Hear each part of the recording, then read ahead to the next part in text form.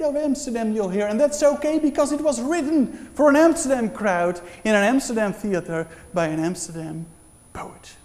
Okay, you're about to watch a staged reading. We've got our own recipe at Theater Kwast at how we do staged reading. The actors came in five hours ago and they had no idea which play they were going to play or which part, which characters they were going to play. Uh, we went through the script once in one big rehearsal and now we're going to show you the result. So, things can go wrong. Bear with us and we'll improvise if things go wrong. And what you must know as well, we've only got four actors and about 20 characters. So each actor has to play three, four, five different characters. Don't worry, I'll tell you at the advance of every scene which parts you which characters you're about to see, and you can look, look in the chat as well. In the chat, we'll post which scene you'll see and which character you'll see. So probably it won't be any problem at all, and we'll introduce it left and right. So don't worry about that. Okay, another thing. This play we're about to play is all about economics. It's all about stock trade, prices, and uh, right now we're in the heart of the Amsterdam Financial Center, the old stock market. This stock market was built over here in 1900. Um, and before that day, there was another stock market. Not, the new stock market is just opposite.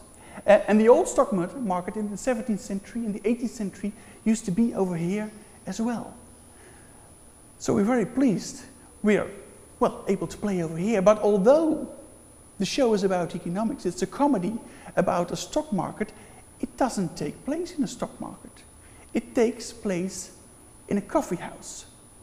King It used to be a coffee house on the Kalverstraat, which is the busiest shopping street of Amsterdam. The coffee house isn't there anymore, but it was the hubbub for stock traders in the 18th century. Over there, the deals were made.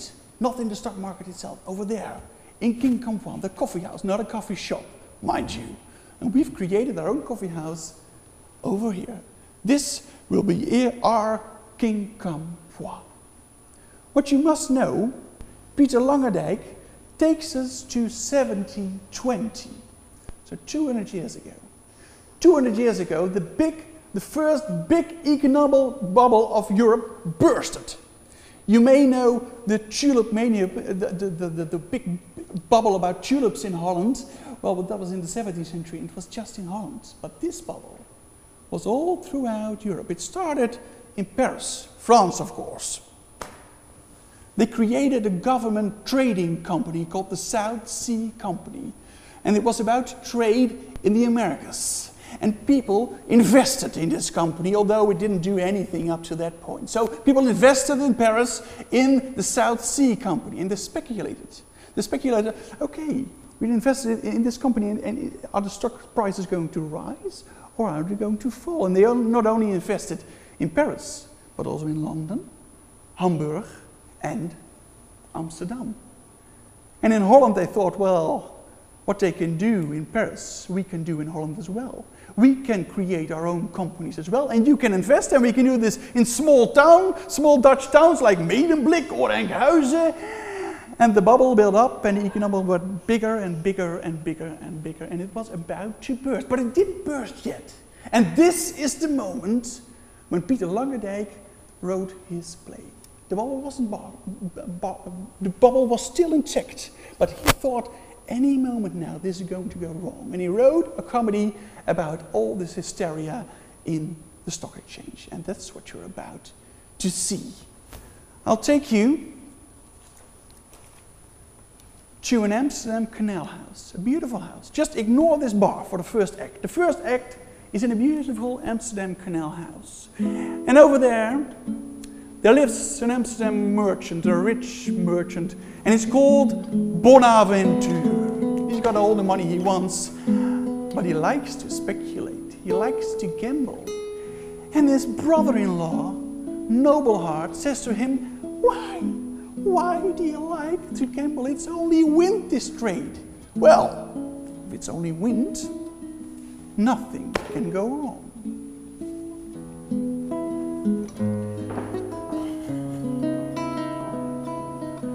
Oh, Nobleheart, stop all the snorting, complaining, and criticizing. What matter is it to you that we want to do business in the South Sea?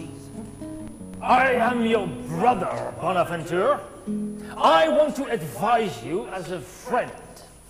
Listen, this trade I regard as nothing more than wind.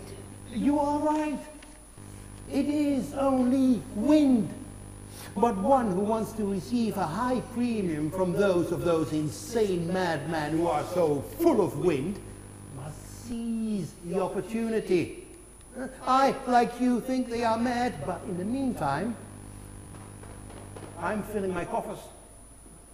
You receive a premium, but say, will you be able to deliver?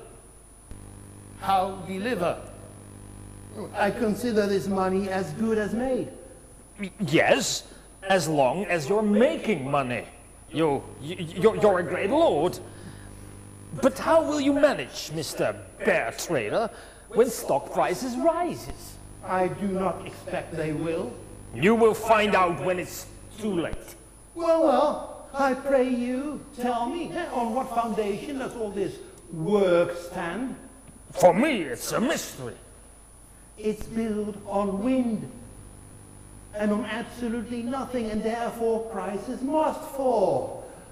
The harder it blows, the more grist to my will.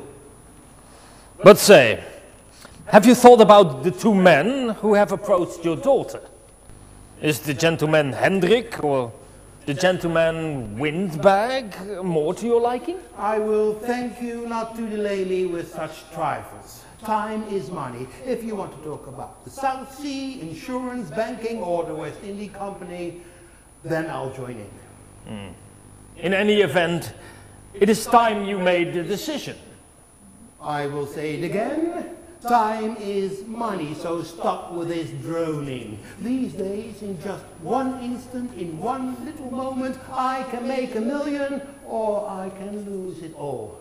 I have just lost about 150,000 guilders in order to listen to a solicitor, a babbler who came to my house just as I was leaving. I asked him if he had been to the dam and had heard how high the prices of South Sea stock had leapt. And in comes um, Nobleheart's clerk, Bonaventure's clerk, his office clerk, and he tells us the latest news about the stock prices of the South Sea Company. Peter, Oh, Mr. Bonaventure, why the sweat on your brow? Oh, a, a fisherman has come from uh, op Zee who, who heard from himself yesterday at noon in London that there was a bidding on shares in the South Sea Company. 1100. The, the fisherman is a rogue who has been paid to create a stir with trickery and by that ruse to get rid of some shares. But have you been to the coffee house yet? Oh, oh, yes, certainly. Uh, uh, but it was so crowded that I couldn't find space to stand. In London, I know South Sea stocks are dropping. Uh, you must go to get broker Griffin. Let Griffin? him collect a premium from his friend. What? More premiums? I serve myself with this wind. Go, Peter, and tell him that I am expecting him. I reckon he's still in Quincampoix. Okay.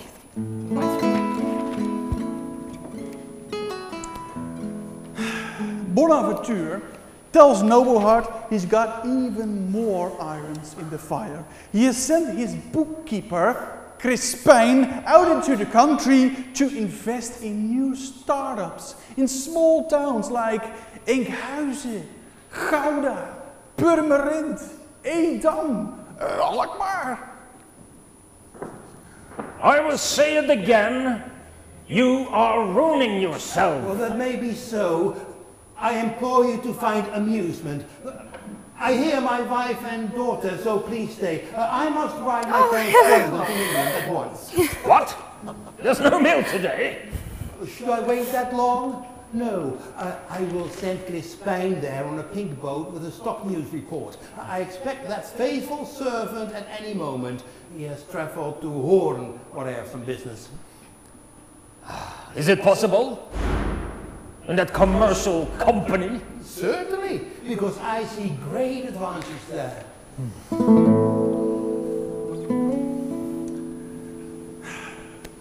Bonaventure's wife, Beatrice, she worries. She worries about all these speculations and she doesn't really understand what's happening. And that's why her brother, Nobleheart, will tell her, will explain in detail to her and to us, thank God, what is happening at the stock exchange. What is all this speculation about? What are these premiums and these actionists? Meanwhile, the daughter of Bonaventure and Beatrice, Hillegonde, has two suitors who well, are making their advances. Oh, oh brother Nobleheart, what oh, will become of us? My husband, does nothing but dream of the South Sea. And in the night, he, jumps up ten times, pay another ten percent through the bank, he hollers. Do, do you want another one at 50 to buy at a thousand in the future? Speak to me, think of the interest. And then, and then he hollers again. The West or Medemblik, a dumb but fine, did I not buy it to Gouda? I beg you, dear Nobleheart, that you explain why this craze is and what this premium means. Well, Beatrice, listen now. It has been like this in Holland once before, that many have been driven by a wondrous spirit to, to waste so much money on flowers that you would be shocked if one were to say how much. A tulip, a hyacinth, was sometimes worth a thousand pounds when their white petals were broken by, by delicate stripes. But by this craziness, has been forgotten uh, with time. And when its memory intrudes, no one wants to admit it for the world. Yet, a spirit has again come knocking, surpassing that former craze in madness. In France and in England, one can find men of finance who receive money on the credit of papers that they issue in order to decrease the debt of the kingdom and pay for it at the same time. These are called shares, which annually pay a return, be it much or little. Yeah, but, but well, why does this create such a stir? because many people imagine that the South Sea Company's trade will flower and be worth much more over time, along with other businesses uh, on which one hopes to make a fortune by speculation. But, but it seems odd to me that our people would trouble themselves with such matters. You know that one lunatic, lunatic uh, begets another, and, and madmen become rich. The wise stand by, perplexed that what yesterday was worth a hundred is now worth seven hundred, and by tomorrow may be worth half of that price again. One who deals in this trade, be he ever so wise, I deem mad. While he in his wisdom must lose, unless he can float over the sea on a mat of straw. Yes, but uh, it has come to my attention that in this trade, those who own shares drive prices up and only sell for a high price. What, pray tell, does the word premium mean? One might call it um, ready money. Re ready money? Uh, why, yes. It is paid up front by which the one who sells shares agrees to deliver them at a certain price and on a specific date. Should the buyer wish to receive them, if the price goes up, the buyer will demand the shares. If the price drops, he loses only the premium. Oh, but that is just betting on whether prices will rise or fall.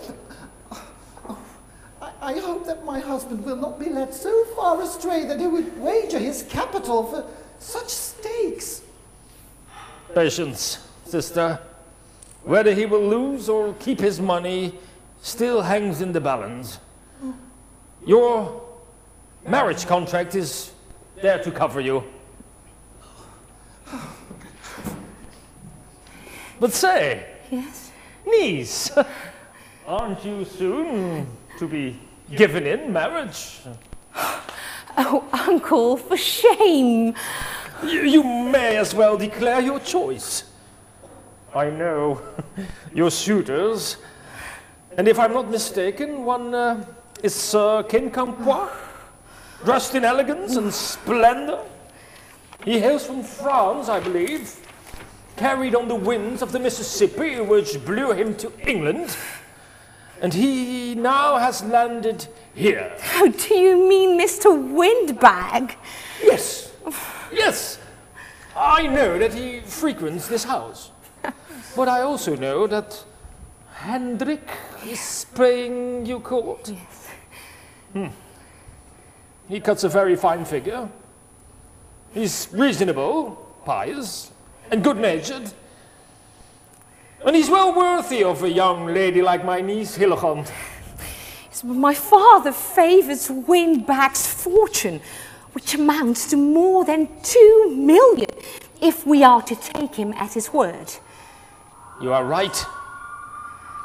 Nowadays, one speaks only of millions. It is paper.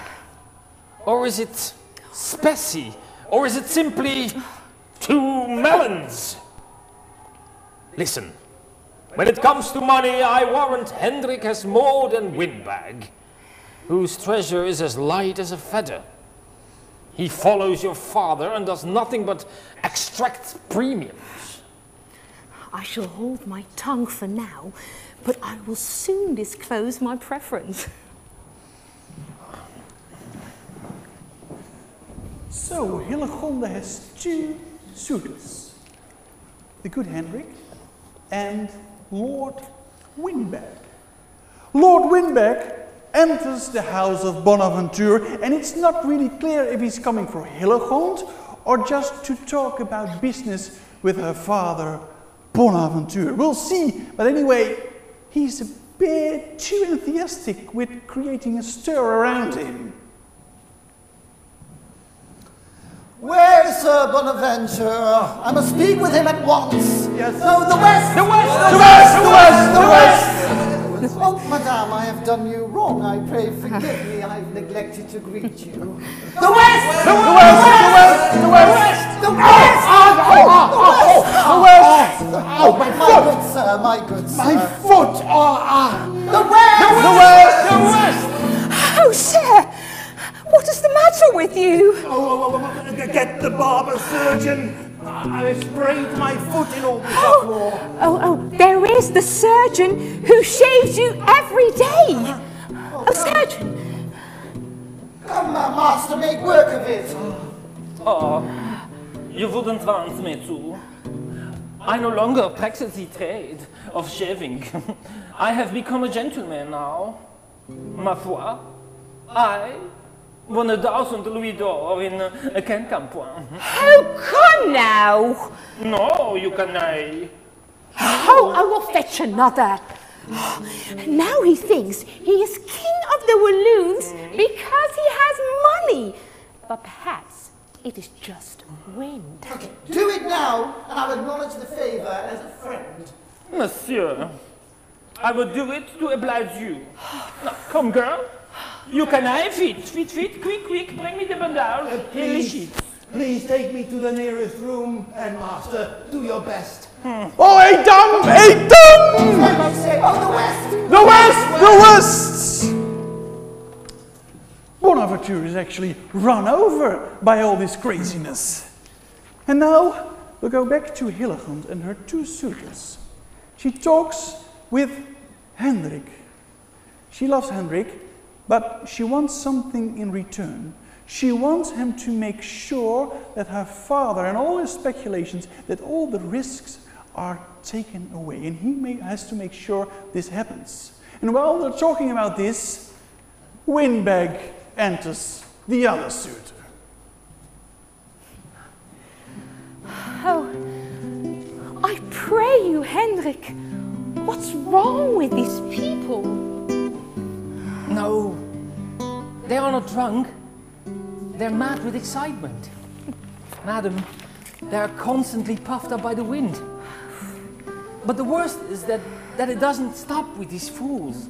It has become an epidemic that has blown over from France, where these sorts of people are no longer just a minor nuisance. But my, my lovely, since chance has afforded me a moment alone with you, say, may I hope that one day you will make my happiness complete? Oh, but. Oh, like you, I, I must arm myself with patience.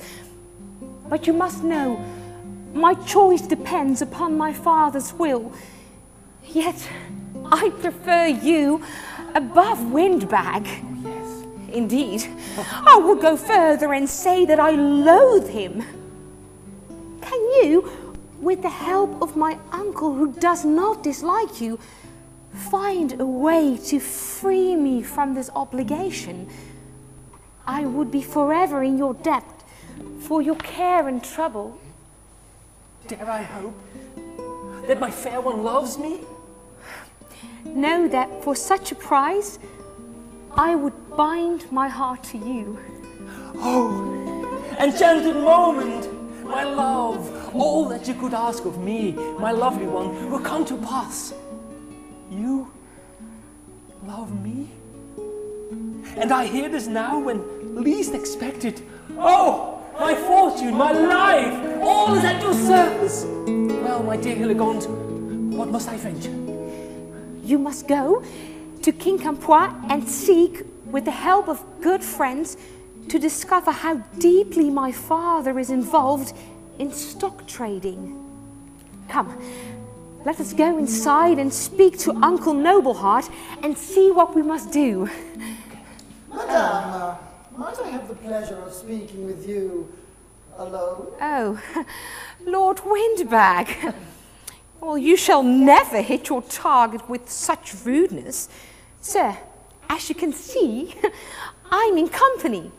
And your intentions have been made clear enough to me. Will I mark that my fellow suitor is best able to charm you? I am not here to listen to your reproaches. It appears that your heart is bent on me, but in the meantime, you speak with a command that you have not won over me. Why have you begun your suit with my father? How was I to know, you being father's best friend, that you frequent this place because you have romantic Is intentions? it not evident, sweet girl, that my eyes betray the love in me that your beauty has awoken? Sweet girl, how dare he so shameless? Hush. I know the ways of courtship. And should one of you two be bold enough to start a quarrel, that one shall never possess me. Then I shall be quieted. And I request this also of you. All right then, my lady. I shall also be quiet, as you command. but am I not the one who could make you happiest? For all that you desire, I can provide, honoured, served, and protected as befitting your elevated station. I possess a fortune well exceeding that of many. You shall live as a princess among other ladies, and I shall add magnificently to your value. What beautiful fruits are produced by your shares. You build castles in the air on premiums. But I fear that the wind of folly is turning, and imagined profits will be blown away with one gust. And I shall go from princess to chambermaid in the end. My lady, that cannot be. The worst! The worst! The worst. Maiden! Mace! I am, I'm, I must speak to these uh, uh, people. Oh, my stars.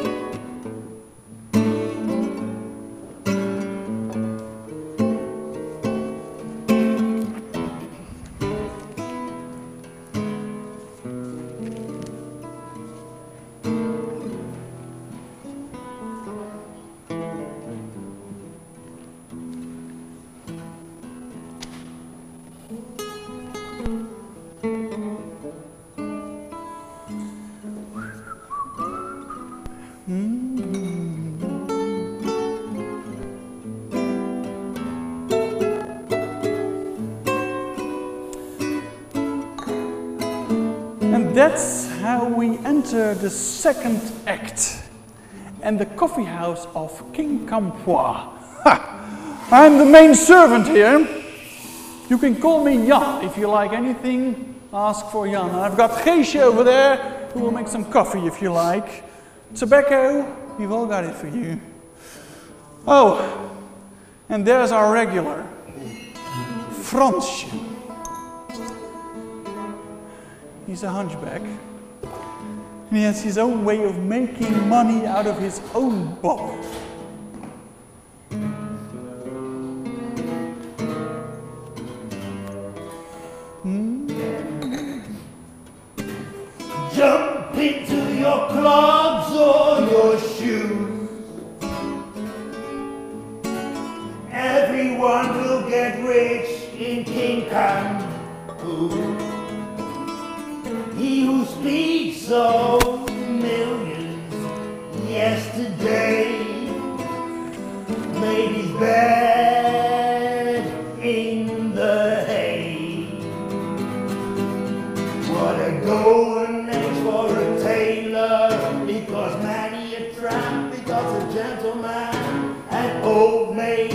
Get lovers not for the ghetto, but for the polish. Should this business continue, I will wager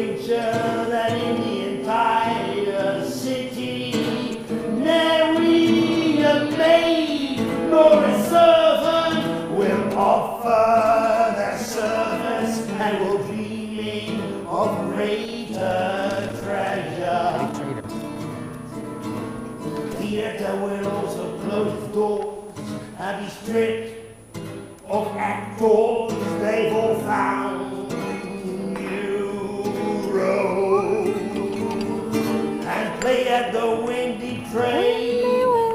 Carriers have abandoned their loads and drivers their wagons soon to celebrate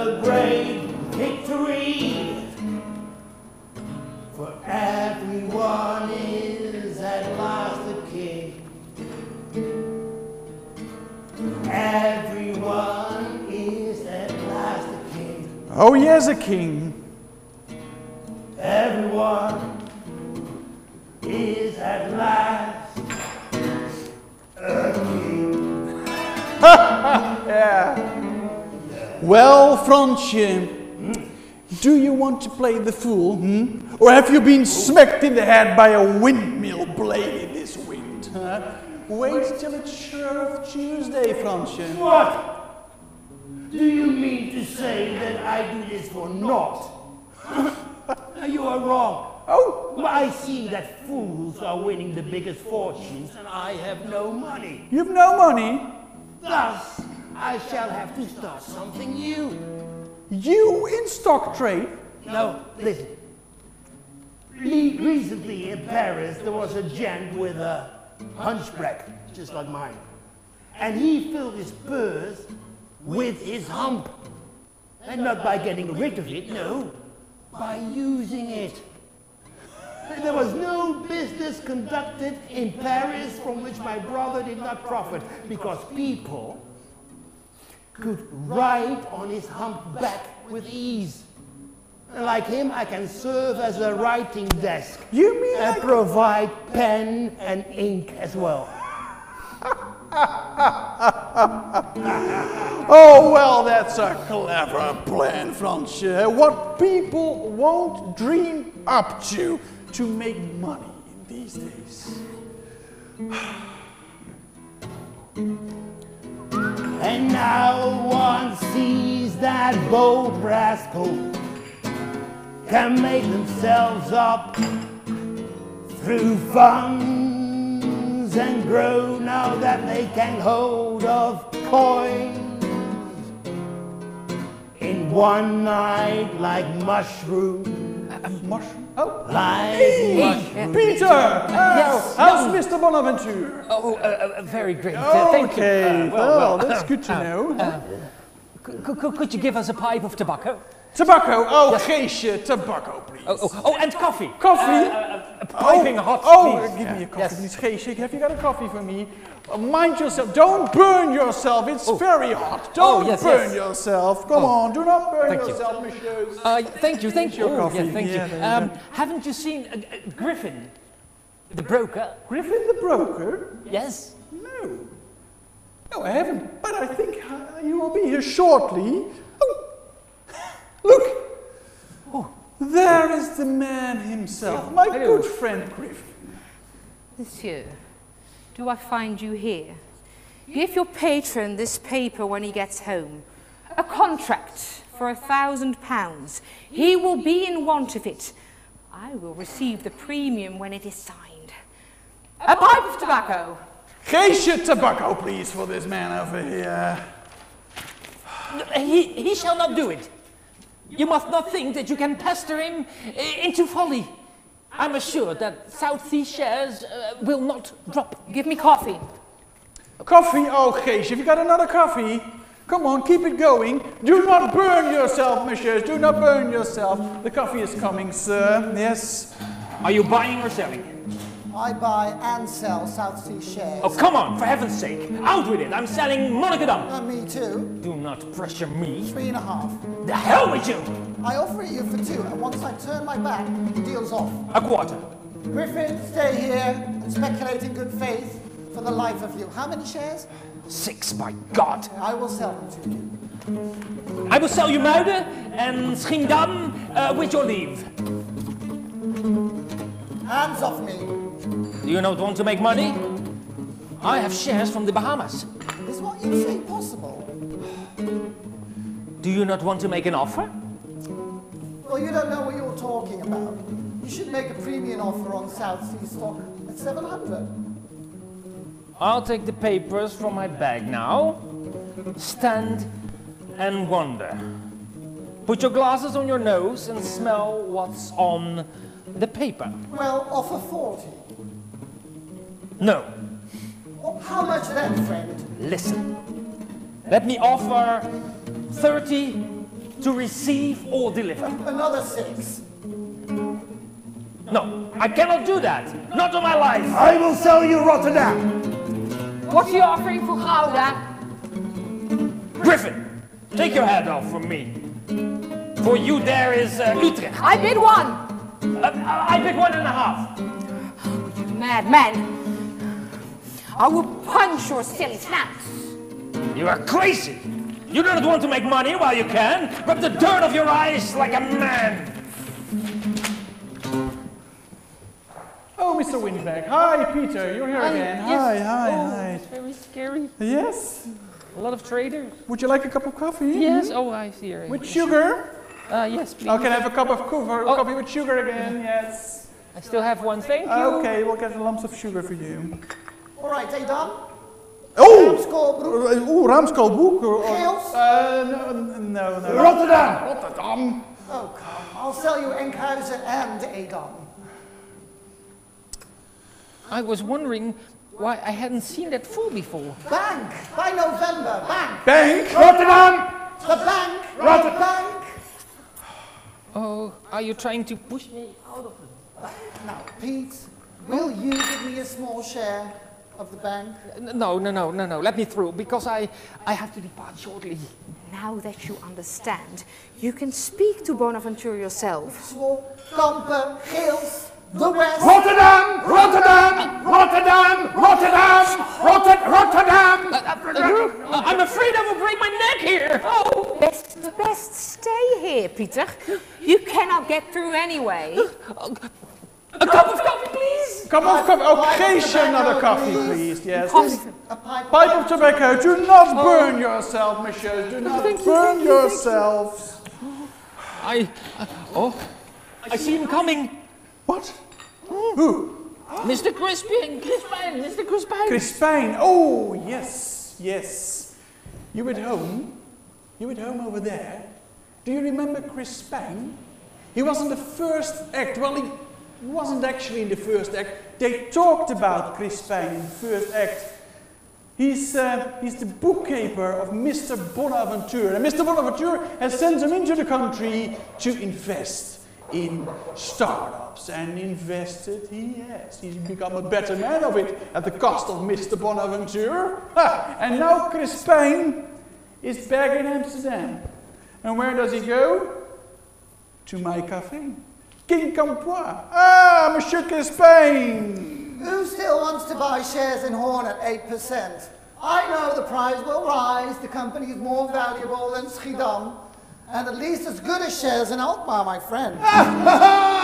the bubble, the bubble, bless the bubble, the bubble, the bubble, bless the bubble, the bubble, the bubble, bless the bubble, and who is buying wind?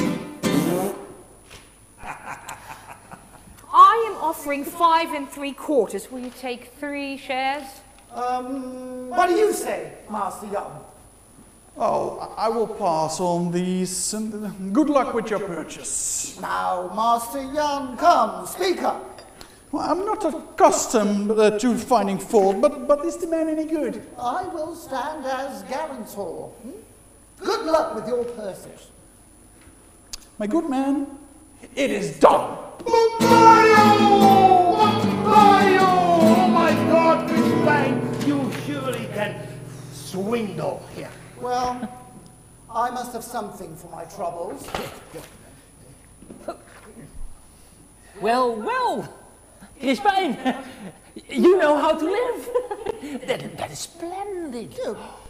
Oh, but you know, my good Crispin, half of the cut is coming to me. Well, you sniffed that out wondrously quickly.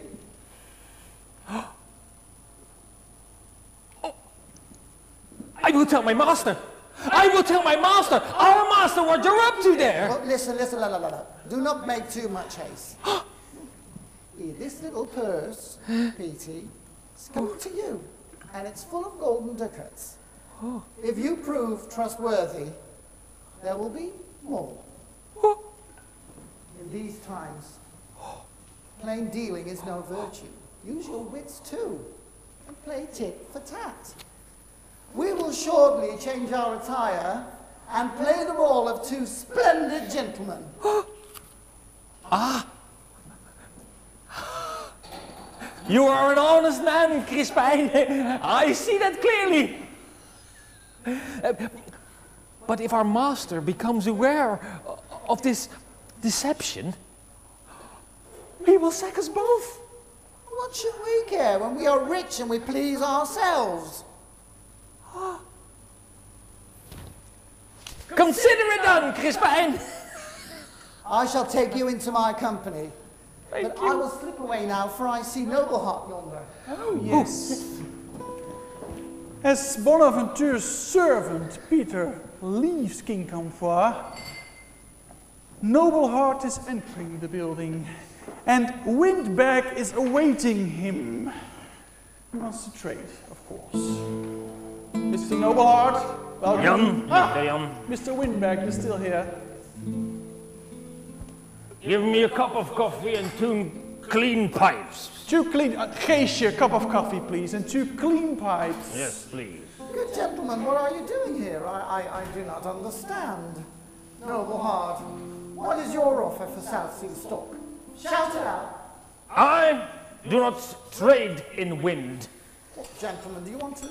I offer not a single farthing.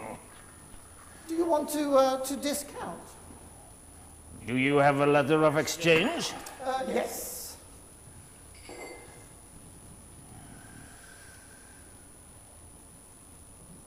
Is it genuine? What is your desire? Well, I'm two million rich, and I have money to invest. I demand 2%. To be paid a month after the offer. There's no decency in that. A gentleman would ask a half of three quarters. Go to Rotterdam, and I have a discounted there. Nor did you. I must do it. I've been everywhere. I just spoke with an impertinent beast who dared demand an 8% cut for credit. Yes, money evaporates. He was right, sir, in my opinion, because people will pay a great deal for wind that quickly blows over, and then you will learn that money must be properly valued.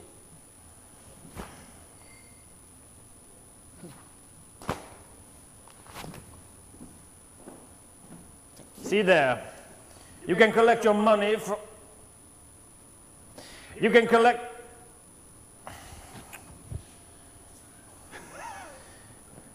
You can collect uh, your money from my cashier tomorrow. He will promptly pay the sum agreed upon there. Hmm, Delft? Rotterdam! Rotterdam? Ah, the Gouda! yeah, yeah, yeah. The south, yeah, the south. The south. Okay, great. Oh, oh, oh. Nobleheart is actually here in our My Cafe to make a deal with Griffin. And Griffin is Bonaventure's broker. And Nobleheart wants to retrieve all Bonaventure's contracts so there are no debts left. Griffin can't understand why. Ah, Griffin, Now, Mr. Griffin, you are alone here. And good friends, I have a plan from which you shall profit. Dear sir, I am, as you know, an honest broker. I serve my masters faithfully. So command me as you wish. I have never had the honor to negotiate for you, but I will show myself to be a man of honor. How many transactions has my brother made with you? Oh, let me see here in my little account book. Hmm, six, sir, of a thousand pounds, and seven for five hundred. Is it possible? How is it, dear sir, that this surprises you? It is not much. Consider that he is a bad trader. Sir Windbag, who was just here, your niece's suitor, has ten times more. One must take risks in this world. In this way, your brother is already enjoying uncommon success. But I'm afraid that he will miss his mark, take flight, and land flat on his back with his legs in the air. Oh, he need have no fear of that. Listen here.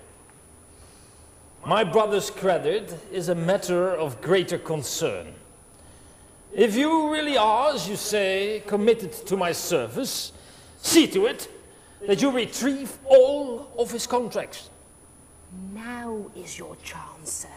As long as you are ready to commit, what percentage are you willing to pay above the premium that he received? South Sea stock is now up to seven. Come! I will take them over. No, No, dear sir, that cannot be.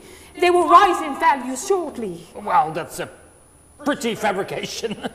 Now you say that the prices will go up and everyone else say they will fall. Oh, be quiet, you fool. I will give you half of the cut. I demand 60% for my profit. Hmm, I will bid 30. 50 No, another five. for 40. No! Well, I am satisfied with that. We are good friends, and I have my orders to deliver on these terms. I shall see it too that the money is transferred to your account. Yes, and that's how we enter the last scene of Act Two. And Mr. Crispine enters again. He's been out in the country investing in startups and he's made a lot of money for himself. So much money, Mr. Crispine, that now he's creating his own startup. You, you can join as well if you like, and join in his startup. Halfway the scene, a farmer passes my cafe and he doesn't understand what the hell they're selling over here. Silence, man, and listen. Spread the word about this project. Those inclined to sign will be met with satisfaction. I am the one who offers shares in this honorable bubble company. I will discount letters of exchange and insure ships as well as houses, barns, turf and wood, warehouses, beasts, young and old, and those who fear the violence of Turks, they can rest assured that we will do business beyond all expectations with the Spanish, the French, and Portuguese. Never shall one lose on these wares. The ships are presently built. We are already masters of the salt. And one can make prices even rise higher because all must be supplied by us. One seeks a pearl fishery in order to be well insured against loss. Those who wish to subscribe to this bubble are not obliged to stay in, but are welcome to be served by the wind, should they think it's advisable. And together we, bubble farmers all, make a wise and comfortable company and with wondrous grace seek to inflate the stock market of the nation. Now, men and brothers, let us begin and put your subscription in this box.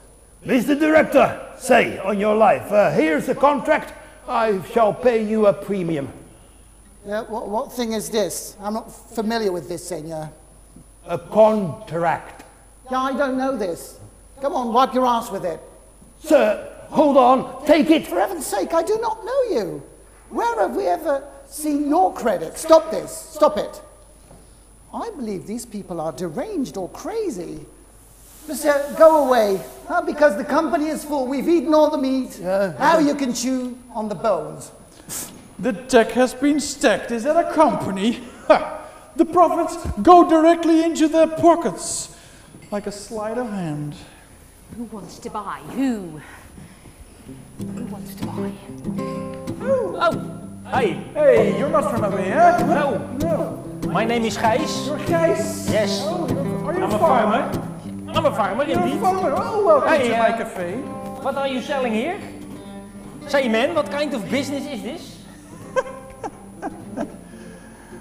Farmer, Yes. here you can acquire great wealth. So, what is uh, this uh, you're selling then? What? They are stocks. Stocks, my friend. Stockings? No, stocks, Oh, my friend. And what is what are stocks? What kind of food is this? Eh, let me taste it. Is i- i- i- if to see if it suits me, yeah? Okay, bring me a half a farthing's worth. Are you fooling with us? Certainly not. Honestly, honestly. What kind of drink is it? Uh, I just want to taste it, mate. Oh, this is no drink. It is pieces of paper, my friend. Ah, now I understand. Now that you explain it to me. Eh? The- the- the- oh, they are little packages. I see. Are they like the things that uh, Quacks sell us on, uh, on, uh, on, the, on the stands? Right? Eh? What now? What now are you laughing? Whoa! Come on. Well, I'm not at my ease here. And I do not know the city. What kind of people are these? They are stock jobs, actionists. Action. Is it possible? Is it possible what you are saying? Are they atheists? Atheists? No. Ooh, our sexton pre- preaches about them often. And I wish I understood what goes on in those people's minds. Well, if you like, you can buy a share of a bubble company. Well, uh, do they sell by the pint or by the pitcher? it must be tasty. of this I am sure. It must be because you have such a large business going on here. Ah, dears, let me have a taste of it. Is it delicious? Now, farmer, Yes? I wouldn't like to see you more carried away. Each share, matey, costs around 200 pounds. 200 pounds? That's way too much, even if, it, even if it were really healthy. No, no, no one will buy this. Then, farmer, take your leave. But, but, Monsieur, Monsieur Gouverneur, before you take your leave, show me once and for all what you are selling. Here, you dumb yokel. Look, this is paper. Though I'm just a peasant, I understand. It must be a, a, a publication. Is it now worth as much as it says on the paper? Yes, if you buy it, you can make a lot more money with this note. Yeah, of course I want to win, but, but my money is also dear to me, eh? If I were to invest a pile of money, then you must at once provide two good guarantees. I do not provide guarantors. Oh, guarantors, yeah. I do not But- provide them. But, but, but if you're on a spree on, and wasting money, all I will have left is, is, is paper. But how much interest will give you uh, to me over the years? Farmer, if I knew myself, I would tell you we would be in business. Huh? If we win a lot, you win a lot. Listen, everyone will get their share, but Farmer, I will not trouble myself with you any longer. Well, you aren't going to get my money out of uh, my purse so easily. I would rather buy livestock with my money, good friend. And as uh, for your little papers, I will not put my money at stake. Who will buy them? You're a fool, Farmer, and I'm leaving. Well, uh, good day, um, Monsieur Gouverneur. Well, I, uh, I take leave of you fools. Rotterdam! The South! The West! The West! The West! Ro- Rotterdam! The West.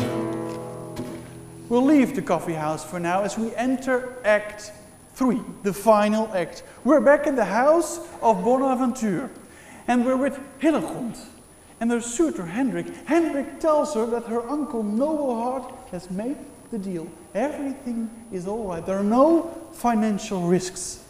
Also, the other suitor, Windbag, enters and he has, has another go at courting her. Hillegond, my true love, all that we wished for has come to pass.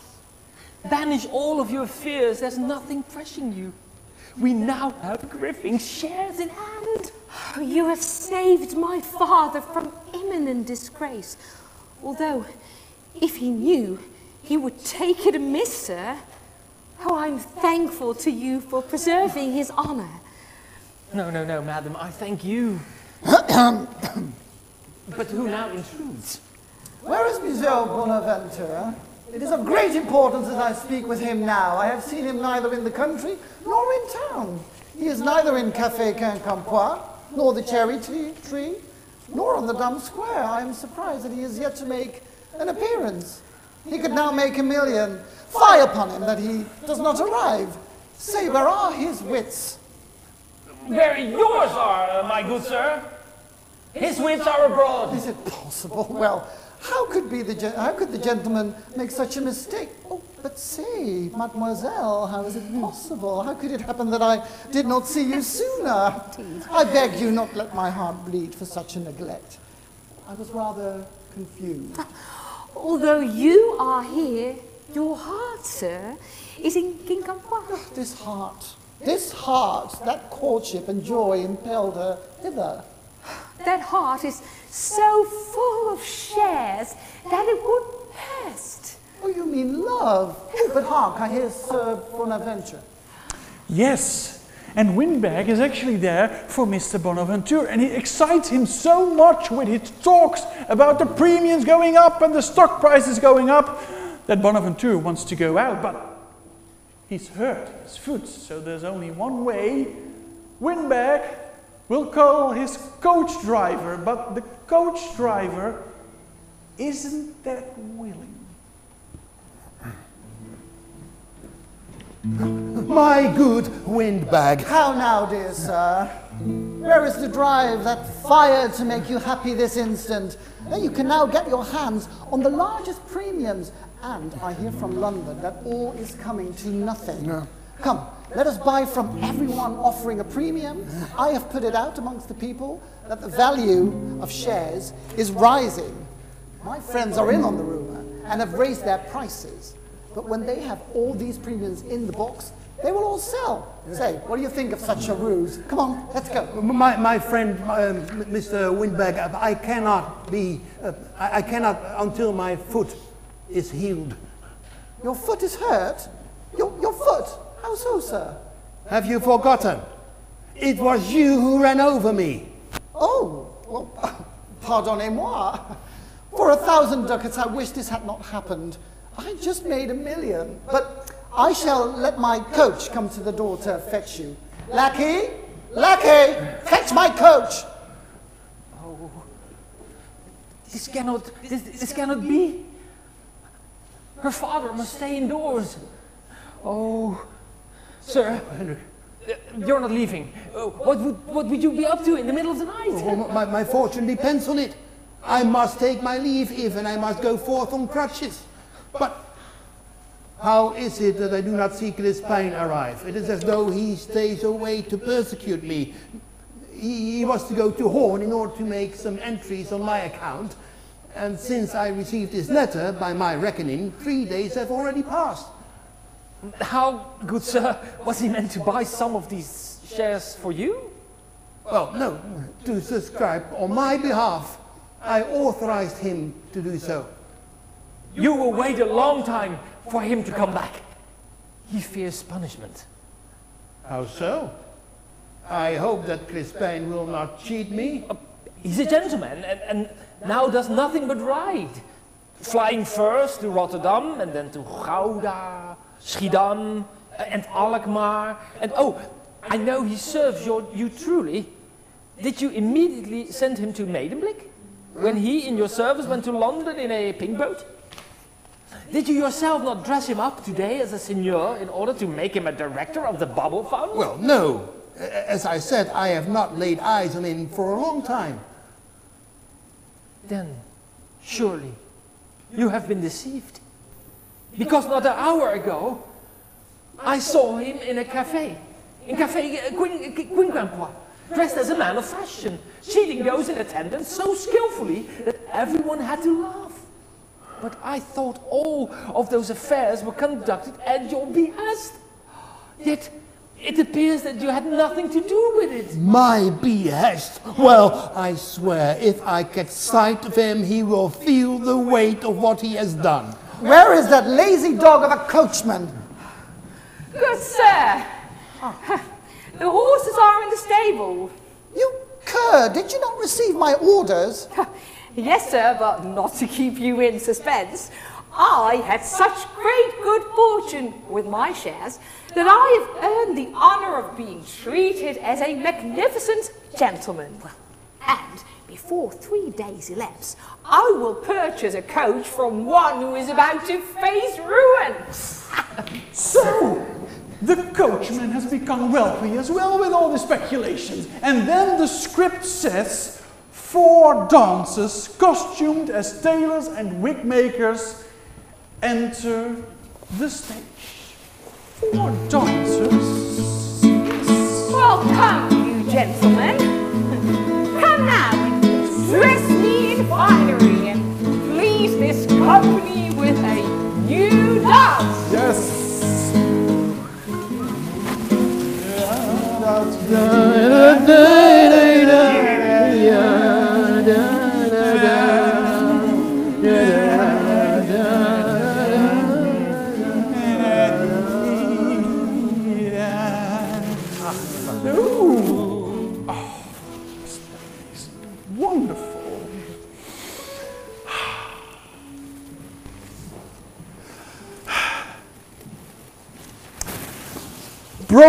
Griffin enters the house to collect promised shares.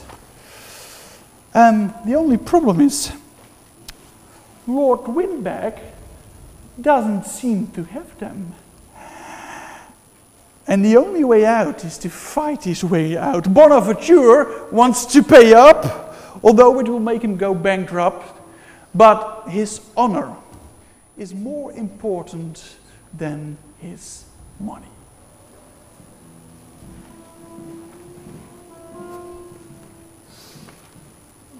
Oh, forgive me that I disturb you at this late hour. My masters have burdened me with this errand, so lend me your ears. Master Windbag, I thought I would find you here. I've been sent by various good friends to demand nine shares in the south.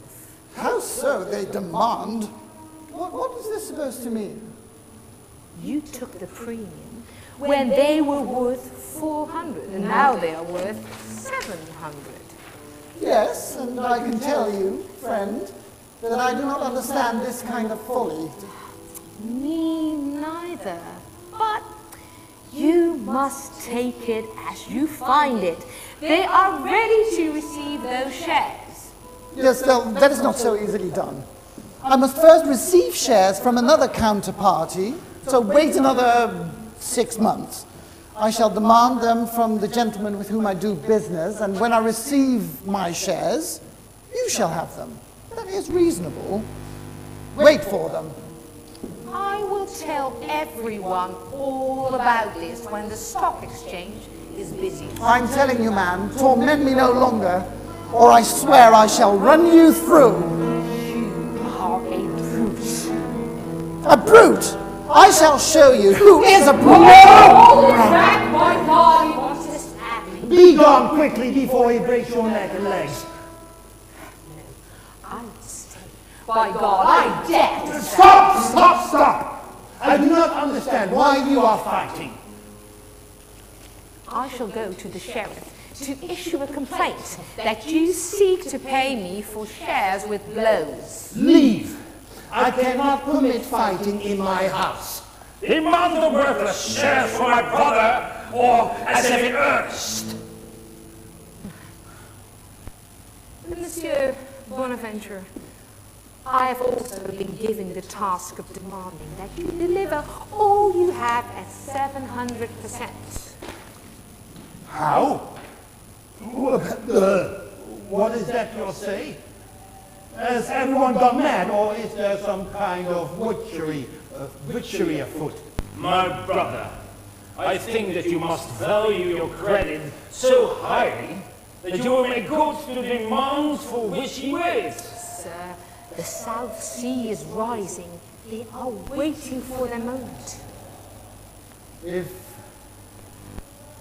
if that is true, brother, then I have lost everything.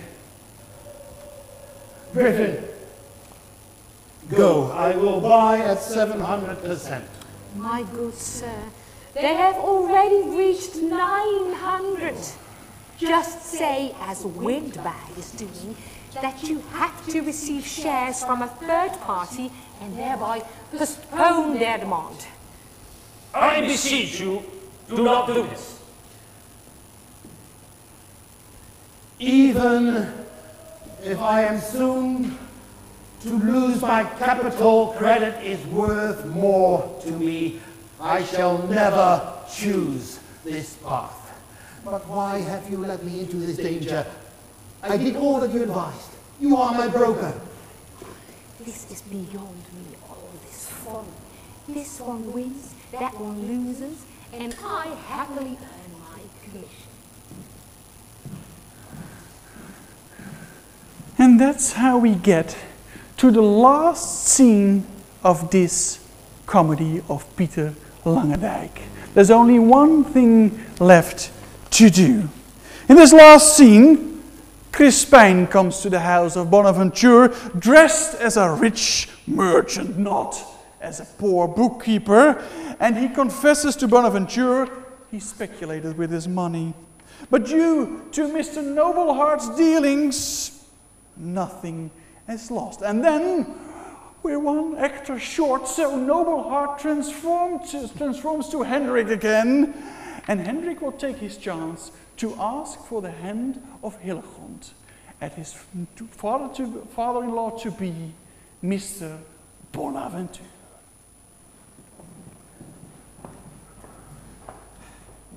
I was Bonaventure, your servant, before all this. My lord, I see you look on with amazement, but do not condemn me just yet. I have gained much with your money, of which you are yet ignorant, but make a demand because you must know I'm ready to give you satisfaction in everything. My money. Crispijn, my money. Have you dared to gamble with my money? Dear brother, rest assured, you will not be damaged. Eh? Look at your contracts that I have redeemed. Be satisfied. If Crispin repays the losses, as is fitting, then he is free from suspicion of evil. And I shall do this. I know from Griffin how much money the damage is worth, which soon will reach your hand.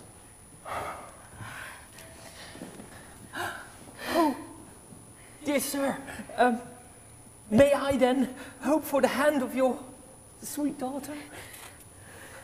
Give her your hand, but I want you never to sell wind.